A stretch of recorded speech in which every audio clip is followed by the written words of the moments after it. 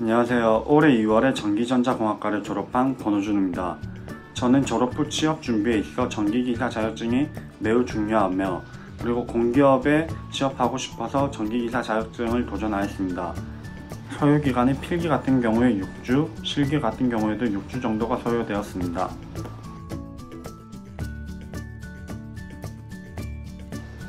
필기 같은 경우에는 난이도가 다른 회차와 비슷하다고 생각하였고 저는 필기를 준비하는 6주 중에 4주 동안은 강의를 들었고 나머지 2주 동안은 기출문제를 6개년치 반복하여 풀었습니다.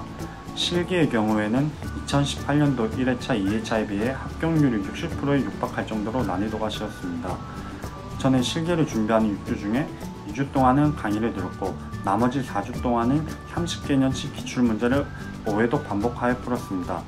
운이 좋게도 저는 난이도가 쉬웠지만 다른 시험은 어떻게 나올지 모르기 때문에 다른 분들은 배우라 학을 통해 차근차근 준비하시면 좋을 것 같습니다.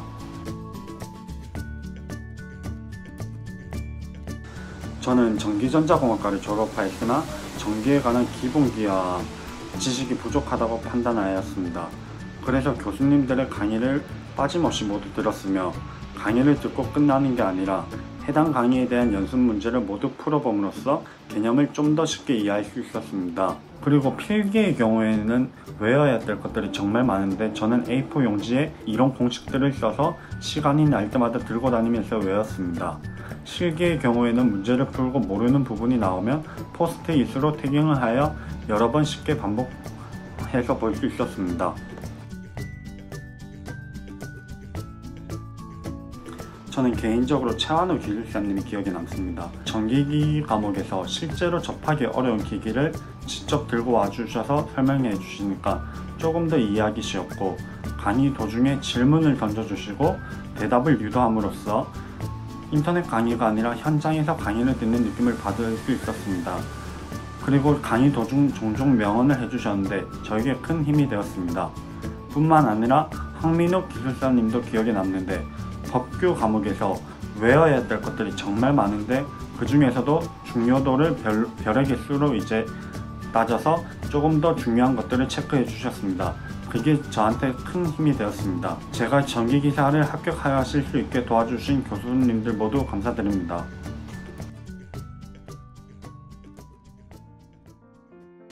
저는 자격증 준비를 하는데 그 시험치기 2주 전이 가장 중요하다는 말을 여러 번 들은 적이 있습니다.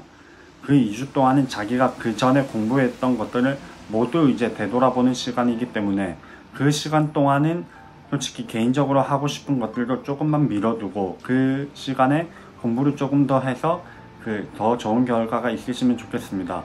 저도 그 2주 동안은 제 하고 싶은 것들을 다 뒤로 미루고 약속 같은 것도 최대한 안 잡고 공부에 집중하였더니 그 2주 동안 봤던 내용들이 시험에 많이 나와서 좋게 합격할 수 있었습니다. 그리고 기사를 준비하면서 솔직히 어려움이 많았는데 특히 슬럼프가 왔었는데 그때는 솔직히 책을 봐도 집중이 안 되고 이제 앉아 있는 것도 힘들었습니다. 그럴 때 저는 시간이 조금 남을 때 친구들을 만나서 이제 제가 좋아하는 운동을 하면서 스트레스를 풀 수 있었습니다. 여러분들도 각자 이제 개인이 스트레스를 풀 수 있는 것들을 방법을 찾아서 그 전기기사 준비하시는데 큰 어려움 없이 합격하시면 좋겠습니다. 이상입니다.